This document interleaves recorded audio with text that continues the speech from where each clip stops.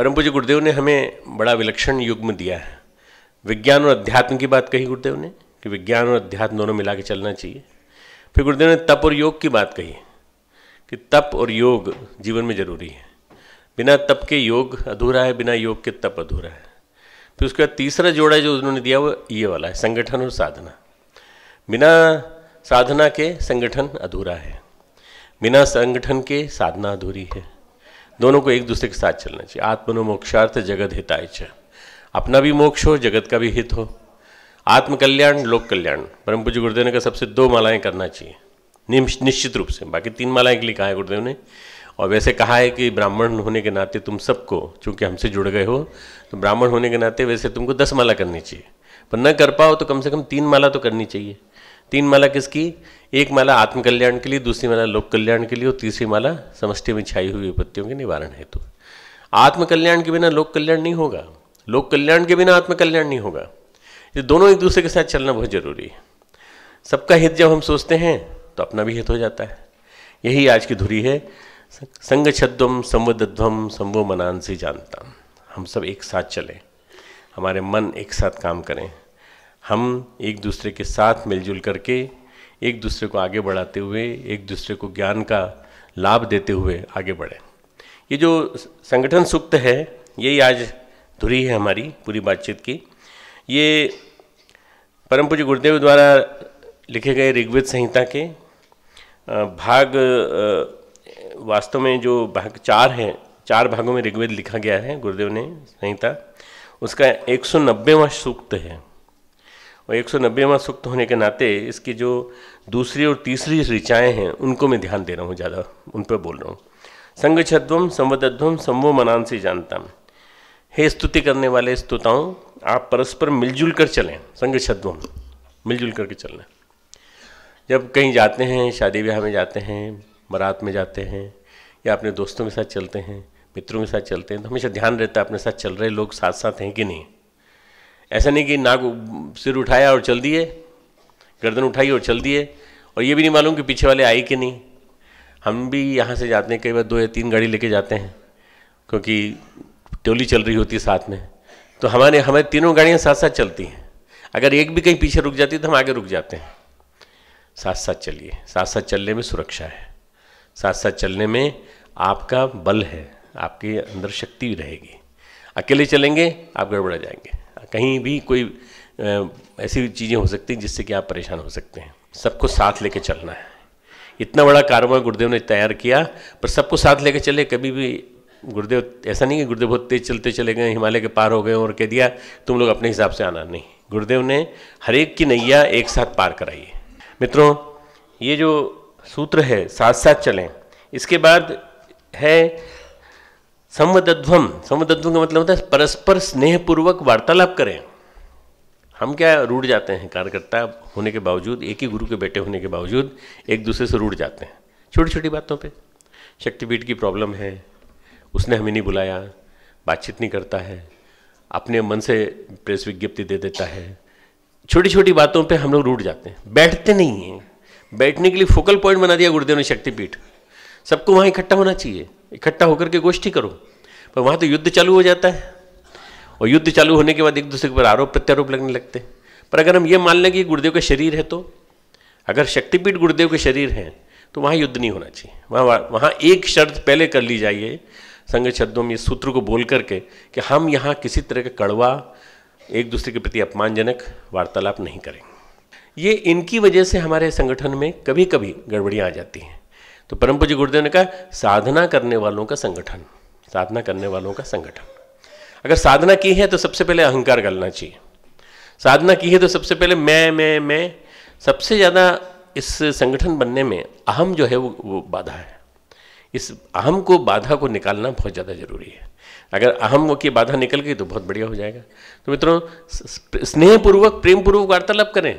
स्नेह और प्रेम किसके प्रति होगा? छोटे भाई के प्रति हमारे सहयोगी कार्यकर्ता के प्रति, सम्मान, सम्माननीय हमारे बड़े बड़े पूर्व जो जो बुज़ुर्ग कार्यकर्ता उनके प्रति, हमारे भाई जैसे, बहन जैसी जो हमारी कार्यकर्ता बहनें और भाई हैं उनके प्रति, आपके मन में यदि स्नेह पैदा होगा तो आप प्रेम से बात करेंगे। ये स्नेह और प्रेम बढ़ाने के लिए आप लोग कुछ करते ही नहीं हो, आप मिलते ही नहीं हो। एक फ़िल्म का गाना है, आप यूँ ही अगर हमसे मिलते रहे। कैसे मिलें? भैया, हर संडे को मिलो, कोई दिक्कत नहीं। बैठो, छुट्टी के दिन बैठो और आमंत्रित करो मीटिंग और सब लोग बैठो। अगर ट्रस्टी और संगठन करने के काम में काम करने वाले, भारतीय संस्कृति ज्ञान परीक्षा में काम करने वाले और विभिन्न प्रकल्पों में काम करने वाले, चाहे वो युवा वर्ग के हों, चाहे वो आंदोलन समूहों के हों, ये सब मिलकर एक साथ बैठने लगे तो क्या होगा? कभी दिक्कत ही नहीं आएगी, कभी परेशानी नहीं आएगी। सबको एक स्वरूप दिखाई पड़ेगा। तो इस समुद्रध्वम जो है, इसका मतलब है कि प्रेम पूर्वक स्नेह पूर्वक वार्तालाप करें। फिर तो उसके बाद वो अगली लाइन कहते हैं, संवो मनान से ही जानता हूँ। हम लोग समान विचारधारा वाला होकर ज्ञान अर्जन करें। समान विचारधारा वाले होकर ज्ञान अर्जन करें। समान विचारधारा होगी तो क्या होगा? जो ज्ञान होगा वो एक साथ हमारे अंदर जाएगा। गुरुदेव का साहित्य पढ़िए, अखंड ज्योति पढ़िए। एक पेज अखंड ज्योति पढ़कर मीटिंग स्टार्ट करिए। गायत्री मन बोल लिया अब एक पेज मीटिंग मीटिंग के पहले एक पेज अखंड ज्योति का पढ़ेंगे। जो लेटेस्ट आया हो, अपनों से अपनी बात हो या कोई भी इंस्पायरिंग कोई भी पैराग्राफ हो, आपको लगता हो कि ये है। पुराना कोई भी कुछ हट के लाया हो तो उसको पढ़िए। और ज्ञानार्जन करिए। गुरुदेव ने लिखा है ज्ञान ही सबसे बड़ी महत्वपूर्ण चीज़ है जो ज्ञान का अर्जन करना और अपने अंदर उसको एकत्र करना सबसे बड़ा पुरुषार्थ है। ज्ञान जितना ज़्यादा ज्ञान आप एक, एक, एकत्र करेंगे उसी से आपकी संचित पुण्य संपदा बढ़ेगी। ज्ञान के अलावा और कुछ भी चीज़ नहीं है। हमारे साथ कुछ नहीं जाता। हमारे साथ केवल ज्ञान जाता है और कुछ नहीं जाता। अगर हमने ज्ञान अर्जित नहीं किया तो हमने जन्म गंवा दिया पूरा पूरा। परस्पर बहस में परस्पर विवादों में और ये सब सब समाप्त हो गया। इसलिए कोशिश करना चाहिए हमको कि ज्ञान का हम अर्जन करें और एक दूसरे के साथ मिलकर के करें। जिस प्रकार पूर्व काल में सज्जनों ने एक साथ मिलकर के यज्ञादि कार्यों में एक दूसरे के साथ मिलकर के ये दे, देवोपासना का क्रम चलाया था वैसा। देवा भागम यथा पूर्वे संजानाना उपास थे जैसे उन्होंने संगठन के साथ उपासना की थी ऐसे तुम भी करो। दूसरा सूत्र है समानो मंत्र समिति ही समानी। हे स्तोताओं आप सबकी प्रार्थना एक समान हो। परम पूज्य गुरुदेव ने कौन सी प्रार्थना दी हमको? गायत्री मंत्र? गायत्री मंत्र की प्रार्थना दी? और विभिन्न रूपों में यज्ञ, है यज्ञ यज्ञ यज्ञ रूप प्रभु हमारे ज्ञान, हमारी जो प्रार्थना है, वो वाली प्रार्थना है। गायत्री माता की आरती है। ये सारी प्रार्थनाएँ जो हैं एक समान हो। ऐसा नहीं कि कोई आदमी आ गया बोले साहब हम तो यहाँ तो दुर्गा की प्रार्थना, दुर्गा जी की आरती करेंगे, भोले बाबा के हम तो पुजारी हैं, हम तो उनकी आरती करेंगे। तो भैया तुम अलग से कर लेना, पहले हमारे साथ मिल करके तो गायत्री मंत्र बोल लो, बस। अगर ये एक मन में बात रहेगी तो हमेशा क्या रहेगा, एक जैसा समानता का भाव रहेगा। अलग अलग नहीं अलग अलग नहीं। पारस्परिक मिलन भेदभाव से रहित एक जैसा हो, समिति ही समानी, हमारी समिति एक जैसी होनी चाहिए, दिखनी चाहिए। दिखनी चाहिए, क्रिया में भी उतरनी चाहिए। समानम मन, और हमारा मन जो है, वो भेदभाव से रहित हो और एक जैसा हो। विचार, तंत्र, मन, बुद्धि, चित्त आदि सब मिलकर के एक साथ एक दिशा में चले। मन सहचित्त में शाम, चित्त में, चित्त बहुत बड़ी बड़ी चीज़ है। चित्त हमारा सबकॉन्शियस माइंड है। और ये चित्त जो है, यही हमारी सारी की सारी आदतों को, हमारे संस्कारों को लेकर के पिछले जन्मों से आता है। यह चित्त भी हमारा सब एक साथ मिल मिल मिलजुल करके काम करे। जब सहचित्त में शाम होगा तो क्या होगा? हम सब के चित्त मिलजुल करके एक साथ हो जाएँगे। तो मित्रों, ये एक प्रकार का बहुत बड़ा महायजन होगा। यजन का मतलब ही होता है संगतिकरण। ये संगतिकरण हो जाएगा बहुत बड़ा। और इस संगतिकरण की वजह से ही इसकी महत्ता बताई गई है। मैं आपके जीवन को इसी इसी में दिया है। हे स्तुताओं, मैं आपके जीवन को एक ही मंत्र से अभिमंत्रित करता हूँ। समानो मंत्र भी मंत्र ये है, समानेन। वह हविषा जो जुहोमी और एक ही आहुति के माध्यम से आपको मैं एक करता हूँ। मित्रों, परम पूज्य गुरुदेव ने गायत्री और यज्ञ इसके माध्यम से हम सबको एक कर दिया और इतना बड़ा एक पुरुषार्थ करके इतना बड़ा गायत्री परिवार खड़ा कर दिया। संगठन तो बहुत सारे हैं, पर सबसे पहले अगर कोई खड़ा हुआ है संगठन तो गायत्री परिवार खड़ा हुआ है, जहाँ परिवार कहा जाता था। परम पूज्य गुरुदेव ने 1926 में अपने गुरु का साक्षात्कार करके जो प्रेरणा पाई, उसके बाद अखंड दीपक जलाया, उस अखंड दीपक के सामने तप करना चालू किया और उस तप को उन्होंने उन्नीस तक चलाया, सत्ताईस साल तक, तीन साल संत संग्राम में रहने के। और उस उन्नीस में जब उसकी पूर्णाहुति की, तब उन्होंने कहा, अब साधना हो गई। उनके गुरु ने कहा, अब तुम संगठन बनाओ। गुरु जी के मन में ऐसे ही आया कि कुछ चमत्कार तो हुआ नहीं। हम तो केवल गायत्री माता की मंदिर बनाने की कल्पना सोचते रहे सोचते रहे, बावन के एंड में आते आते गुरुदेव के मन में ऐसा है जो गुरुदेव ने चर्चा में बताया हम लोगों को, कि मुझे मुझे लगा कि कुछ हुआ नहीं। हमारे शरीर के अंदर मजबूती आ गई, संयम आ गया, नियमन नियंत्रण आ गया, बीमार कभी नहीं पड़े, सब कुछ ठीक है, पर कोई चमत्कार तो हुआ नहीं, गायत्री माता तो दिखी नहीं। गायत्री माता के दर्शन कब होंगे? परम पूज्य गुरुदेव ने अपने गुरु से पूछा। तो उनके गुरुदेव आए उनके, उसमें दर्शन में। ध्यान में। और उन्होंने कहा, तू चमत्कार देखना चाहता है तो चमत्कार देखने के लिए तू ऐसा कर, तू यज्ञों की श्रृंखला कर। उन्नीस का यज्ञ, उन्नीस सौ छप्पन का यज्ञ, उन्नीस सौ अट्ठावन का यज्ञ, इन सब की सिनॉप्सिस बनी पूरी पूरी। नरमेद यज्ञ की सिनॉप्सिस बनी। और बोला, उन्होंने गुरुदेव ने कहा तो इन इस साधना की फलश्रुति संगठन के रूप में देख। साधना की फलश्रुति संगठन के रूप में दिखाई पड़ेगी, जब तुझे उन्नीस सौ अट्ठावन का जो बड़ा कार्यक्रम दिखाई पड़ेगा। उन्नीस सौ अट्ठावन में मित्रों गुरुदेव ने सबको बुलाया और सबको ये कहा, सब आए, साधना करके आए, एक साल की साधना करके। और साधना के बाद कार्तिक पूर्णिमा तो उन्नीस सौ अट्ठावन में जो यज्ञ हुआ, उस यज्ञ ने एक बहुत बड़ा संगठन खड़ा कर दिया। इस यज्ञ में एक लाख होताओं द्वारा 101 कुंड में यज्ञ होना था संपन्न। तो गुरुदेव ने एक लाख की कल्पना की थी। पर गुरुदेव की कल्पना के जस्ट अगेंस्ट वही साधक, वही संविधा लेकर, घी लेकर के जो डाला जाना था, सब लेकर के लगभग दस लाख से ज़्यादा की संख्या में पहुँच गए। इतना बड़ा कार्यक्रम हो गया, इतना बड़ा कार्यक्रम हो गया कि एक संगठन खड़ा हो गया, सबके नाम पते नोट कर लिए गए, सबको अखंड ज्योति जाने लगी और अखंड ज्योति पत्रिका पढ़ने लगे लोग नियमित रूप से, परम पूज्य गुरुदेव, हिमालय चले गए। हिमालय से गुरुदेव ने जो सारे के सारे वैदिक वांग्मय का अनुवाद और सब प्रसारित किया, आने के बाद उन्होंने हमको युग निर्माण से संकल्प दिया उन्नीस सौ बासठ में, और आने के बाद उन्होंने कहा, अब नौ साल का काम हमारा बाकी है। नौ साल और है हम हैं यहाँ तपोभूमि में, उसके बाद तपोभूमि से हम हिमालय चले जाएँगे। तिनके तिनके से मित्रों, रस्सी बनती है। बूंद बूंद से पानी घड़ा घड़ा भर के पानी घड़ा होता है। और ईंटों से मिलकर के इमारत बनती है। सीखों सीखों को मिला करके बुहारी बनती है। नहीं साहब हम तो एक ही सीख से साफ़ कर देंगे पूरा कमरा। नहीं करके दिखाओ। नहीं कर सकते। छोटी छोटी चीज़ों से मिलकर के बड़े बड़े काम हुए हैं। छोटी छोटी चीज़ों से। संगठन अगर आपको देखना है तो सबसे पहला संगठन का उदाहरण मिलता है हमारी दुर्ग, दुर्गा माता के अवतरण के माध्यम से। संघ शक्ति दुर्गा का प्रतीक। देव शक्तियों ने मिलकर के दुर्गा शक्ति जगाई है। असुर निकंदनी दुर्गा तब जागती है जब असुरों से परेशान होने होकर के देवता लोग जाते हैं और ब्रह्म प्रजापिता ब्रह्मा के पास जाके कहते हैं महाराज आप हमें बचाइए वो असुर तो हमको मारे जा रहे हैं। आप आशीर्वाद दे देते हो उनको। भाई वो तब करते हैं इसलिए आशीर्वाद देते हैं। और वो एक रहते हैं चोर चोर मोसेरे भाई होते हैं कि नहीं बताओ? तो डाकू डाकू मोसेरे भाई हुए कि नहीं? तो वो तो हमेशा एक रहेंगे। अरे अच्छे लोग कब एक, एक दूसरे के साथ मिले हैं? अच्छे लोग एक दूसरे के साथ मिल जाते तो मित्रों कितना बढ़िया बात होती। तो इसलिए गुरुदेव ने इतना बड़ा संगठन खड़ा किया, अच्छे लोगों का संगठन। सज्जनों का संगतिकरण, सज्जनों का संगठन खड़ा किया गुरुदेव ने। और वो जो असुर निकंदनी दुर्गा है, ये ऋषियों के रक्त से संचित देव शक्तियों के अंश से सिंचित से खड़ी की गई एक देव शक्ति है। एक ऐसी शक्ति है जिसको ये कहा जा सकता है कि इसमें सब देव शक्तियों का वो डाला गया है, अंश डाला गया है। एक अकेले ब्रह्मा जी या एक अकेले कुबेर और इंद्र के देख हम तीनों को ही आप ले लीजिए। आप बाकी सबको क्यों परेशान करते हैं? बोले, नहीं नहीं, सभी देव, सभी देवताओं को अपनी शक्ति डालनी पड़ेगी। सभी देव शक्ताओं ने, सत्ताओं ने अपनी शक्ति डाली, तब जाकर के दुर्गा खड़ी हुई। असुर निकंदनी दुर्गा संगठन का प्रतीक है। सारी संघ शक्तियाँ, सारी देवी शक्तियाँ, सारे देव शक्तियों का एक प्रतीक उसके अंदर है। तो मित्रों, ये देवी शक्तियों का जो प्रतीक है, देव शक्तियों का जो प्रतीक है, इन सब के माध्यम से परम पूज्य गुरुदेव ने अकेले थे। 1926 में।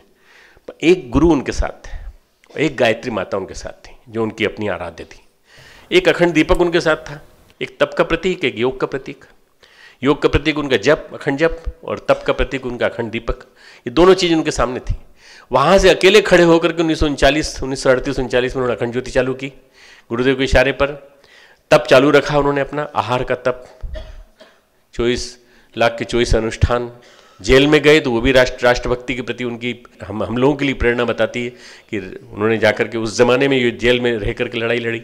ये जो गुरुदेव का, मित्रों संता संग्राम में सहभागिता चली, ये सब, इसके बाद गुरुदेव को प्रेरणा मिली कि अब तुमको संगठन देखना है, संगठन की बात करनी है। संगठन की बात करने के लिए गुरुदेव ने देव शक्तियों को एकत्र किया और न जाने कहाँ से देवताओं को इकट्ठा कर करके जिसके अंदर भी देवतत्व था। गुरुदेव ने एक चीज़ लिखी है जो मैं बताना चाहता हूँ। हमने अपने माध्यम से अच्छे अच्छे लोगों को इकट्ठा किया। गुरुदेव कहते हैं कि हमें अधिक संघबद्ध और संगठित होना पड़ेगा। युग निर्माण योजना की महान योजना को सफल बनाने के लिए हमने एक सुख सुसंगठित सेना बनाई। अपरिपक्व विचारों वाले लोगों में से क्षणिक आवेश पैदा करके उनसे कुछ काम कर लेना, करा लेना कठिन है। परंतु हमने युग निर्माण की इतनी विशाल योजना और जिसमें जनमानस का काया पलट कर देने वाला हमारा संकल्प है, वह आज असंभव जैसी शेख चिल्ली की कल्पना लग सकती है। यह है उन्नीस सौ बासठ की अखंड ज्योति। पर वह असंभव जैसी शेख चिल्ली की कल्पना वो पूरी होकर के रहेगी। हम जानते हैं, क्योंकि हमारा अंतरात्मा बोलता है कि वह सब होने ही वाला है, होकर रहने वाला है। मित्रों, परम पूज्य गुरुदेव ने जो बात लिखी है, वो हुई कि नहीं, बताइए। संगठन बना, संगठन बड़ा हुआ और गुरुदेव ने हम सबके अंग अवयवों से वाली जो एक छोटा सा परिपत्र है उसमें लिखा है यह संगठन या योजना बड़ी है इतनी बड़ी जितना बड़ा उसका नाम। और इतना काम बढ़ेगा इतना काम बढ़ेगा कि बनते बन, बन, बन बनेगा भी बिगड़ेगा भी बदलेगा बदलेगा भी सब कुछ होगा पर बनता चला जाएगा कोई दिक्कत नहीं आएगी। तुम लोग साथ मत छोड़ना। हमारे विचारों से जो प्यार नहीं करते हमारा मूल्य नहीं समझते वे शिष्टाचार में मीठे शब्द भले ही कहें गुरु जी गुरु जी हम आपके हैं। कहें परंतु वो हमसे हज़ारों मील दूर हैं, उनसे किसी बड़े काम की कोई आशा नहीं करनी चाहिए। तो गुरुदेव ने ऐसे लोगों को पहचान लिया और उनसे मिलते तो रहे, प्यार तो करते रहे, पर काम उनसे लिया जो भले ही बोलते नहीं थे, पर काम करते थे गुरु जी का। और गुरु जी का काम करने वाले ऐसे लोगों का संगठन गायत्री परिवार है। और ये हज़ारों लाखों व्यक्तियों का संगठन मिलकर खड़ा हो गया उन्नीस सौ अट्ठावन में, और उसके बाद उन्नीस सौ इकहत्तर में गुरुदेव यहाँ आ गए। आपको सबको मालूम है कि यहाँ कई प्रकल्प चालू हुए ब्रह्मवचि शोध संस्थान, फिर ये यहाँ से कई प्रकार की योजनाएँ चली। उन्नीस सौ सतासी में गुरुदेव ने राष्ट्रीय एकता सम्मेलन श्रृंखला चलाई। और राष्ट्रीय एकता सम्मेलनों से लौटने के तुरंत बाद, वहाँ के लोगों ने जो रिपोर्ट दी, उसके तुरंत बाद गुरुदेव ने विराट दीप यज्ञों की श्रृंखला चलाई।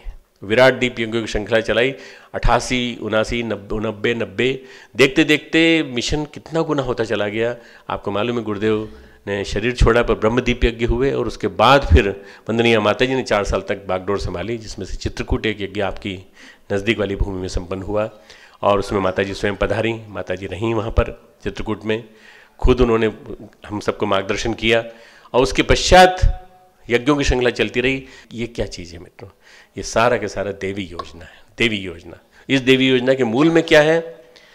वो संगठन का स्वरूप जो गुरुदेव ने शुरू शुरू में देखा, आरंभ में देखा और आरंभ में देख करके बनाया राम और श्री राम एक ही हैं। हम कई बार कई बार गीत गाते हैं, राम और श्री राम एक हैं, दुनिया जान न पाई।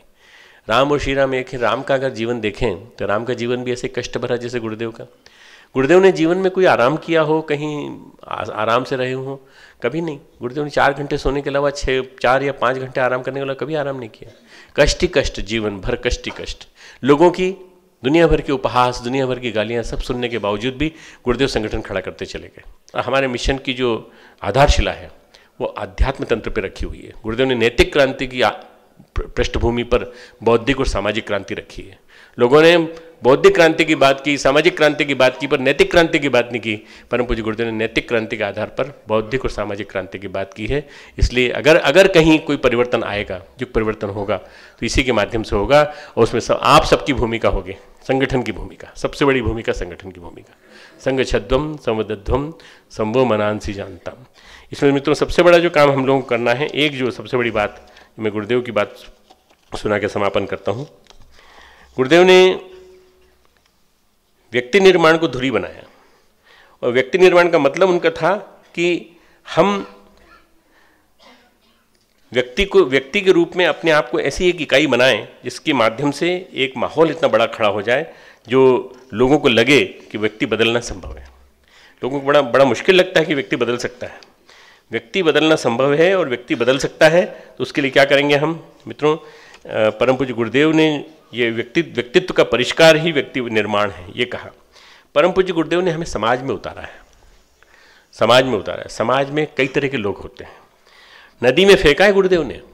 तालाब में फेंका है। लहर वाले तालाब में। या तो हम डूबेंगे या तैरना सीख जाएँगे। तैरना सिखाने के लिए क्या करता है? वो ले जाता है किनारे खड़े होकर देखते हैं। देखो, देखते हैं तालाब कैसा है। फिर उसका धक्का देता है। वो धक्का देने के बाद क्या कहता है? अब हाथ पाँव मारो, हाथ पाँव मारो निकलाओगे हा, मरे क्या करे? तो इसके बजाय तो हाथ पाँव ही मार ले। हाथ पाँव मारते मारते तैरना सीख जाते गुरुदेव ने हमको तैरना सिखाया है। मैं पहली बार जब कानपुर में प्रवचन देने के लिए गुरुदेव मुझे ले गए अपने साथ तो मैंने सोचा, गुरुदेव तो बैठे ही हैं, गुरुदेव बोलेंगे, उसके पीछे मैं थोड़ा सा पुछल्ले की तरह से कुछ थोड़ा सा बोल दूँगा, जैसे गुरुदेव ने प्रवचन मुझे लिख के दिया, वही बोल दूँगा। गुरुदेव ने मेरा नाम पहले ले लिया और मुझे खड़ा कर दिया आगे। तालाब में फेंक दिया उठा करके। अब मैंने बोलना चालू किया, मुझे क्या मालूम है, क्या बोला मैंने? परंतु तो बाकी सब लोगों ने बहुत तारीफ़ की, पर गुरुदेव ने कहा, भाई, जमा नहीं। मैंने कहा, इसीलिए तो कहता हूँ आपको, मेरे को भी थोड़ा, थोड़े थोड़े दिन लिखने का अभ्यास करने दो। मैं डॉक्टर हूँ, मैं वैज्ञानिक हूँ, मुझे क्या प्रवचन ववचन नहीं नहीं जमता मुझे। तो गुरुदेव ने कहा, सीखोगे कैसे? सीखोगे कैसे? तो गुरुदेव ने इस तरह से फेंका उठा करके उठा करके आप सबको भी फेंका है समाज में। आपसे कोई भी कुछ पूछ बैठे तो आपको बात आना चाहिए, बोलना कि हमारा मिशन क्या है, हमारा उद्देश्य क्या है, हमारा लक्ष्य क्या है, आपके पास सारे के सारे मटेरियल रेडी होना चाहिए दिमाग में पूरे पूरे कहीं भी ऐसा ना हो कि आप बोल दें, या तो डूबेंगे, तैरना सीख जाएँगे। कर्म में कुशलता हम सीख जाएँ, कीचड़ में लीन न हो जाएँ। पानी में कीचड़ भी है, पानी भी है तो कीचड़ में लीन न हो जाए। हम अपनी तुलना, अपना एनालिसिस अपनी विश्लेषण को अपने व्यक्तित्व से करें, और किसी से नहीं। हमारा, हमारी तुलना केवल हमारे आप से, अपने आप से। उससे नहीं, राम की लक्ष्मण उससे महेश से, महेश की गणेश से नहीं, किसी की किसी से नहीं। आप अपने आप से करिए। How better and how best you can present yourself कितना बढ़िया आप अपने आप को प्रेजेंट कर सकते हैं। आज की तुलना में कल कितना बढ़िया कर सकते हैं। ये आप देखिए। हम कितना अच्छा बोले, ये नहीं। हम कितने अच्छे कर्म हमने किए। इस पर आप अपना निर्धारण कीजिए। अगर आपने गला लिया अपने व्यक्तित्व को तो उसकी सुगंध फैलने लगेगी। उस व्यक्तित्व की सुगंध को विस्तार करने के लिए इस ज्ञान यज्ञ में आपको बुलाया। खूब खूब मंगल कामनाएँ। परम पूज्य गुरुदेव वंदे माता जी की आशीर्वाद। अब आप Shanti Kunj video YouTube channel देखें कभी भी कहीं भी। डाउनलोड करें Shanti Kunj video mobile app उपलब्ध है गूगल प्ले स्टोर एवं एप्पल स्टोर पर भी। हमारे YouTube channel Shanti Kunj video Gayatri Parivar को सब्सक्राइब करें एवं बेल आइकन ज़रूर दबाएँ ताकि गायत्री परिवार की विभिन्न गतिविधियों की जानकारी आपको मिलती रहे।